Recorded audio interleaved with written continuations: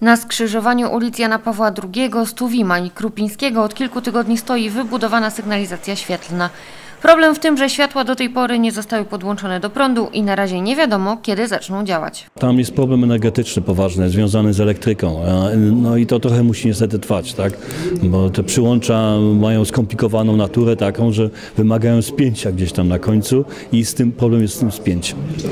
Tam są duże wahnięcia. Nie wiem, czy Państwo się zauważyli, generalnie jeśli chodzi o stronę 4, tam są ciągle spadki napięcia, w związku z czym e, to nowe trafo, które zostało zbudowane, nie do końca jeszcze oddziałuje na tą stronę Lubina. E, Trochę się uspokoiło, ale te dalej spadki napięcia są i co zresztą widać każdorazowo, jak jest spadek napięcia, nagle przechodzą się, żółte światła się zapalają w tej części e, Lubina, jeśli chodzi o, o, o światła e, komunikacyjne.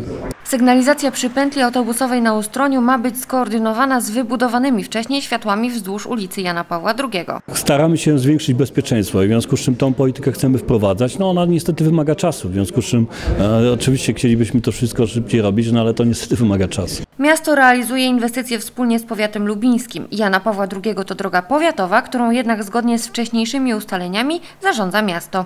Starostwo przekazało na budowę świateł 600 tysięcy złotych.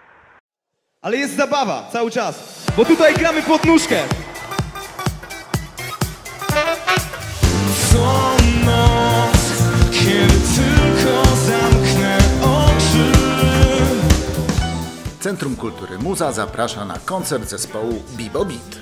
Muzyków inspiruje połączenie jazzu i hip-hopu, a suma wulkanicznej energii wokalu, soczystego brzmienia sekcji dętej i rytmicznej oraz wysmakowanych partii jazzowego fortepianu, a także futurystycznej elektroniki oraz spontanicznej ekspresji uwalnianej w niepowtarzalnych momentach improwizacji daje koktajl o niezwykłym smaku.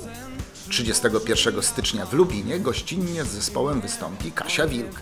Zapraszamy do Centrum Kultury Muza o godzinie 18.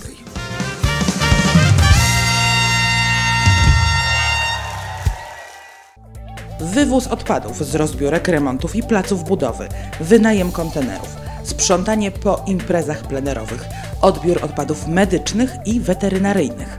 Zostaw to profesjonalistom, posprzątają za Ciebie.